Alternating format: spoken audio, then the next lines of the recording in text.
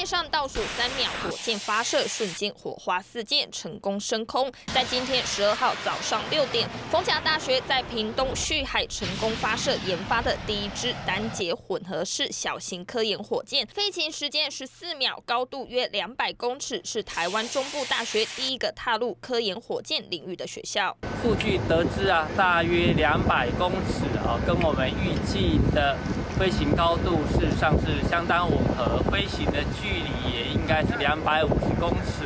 啊，所以这些都是在我们原先的分析。设计里面啊，所以。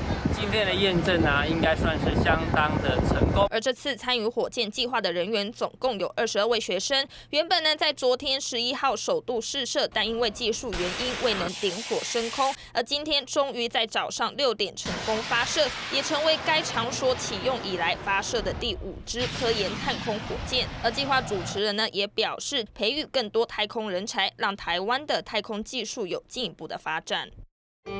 Thank you.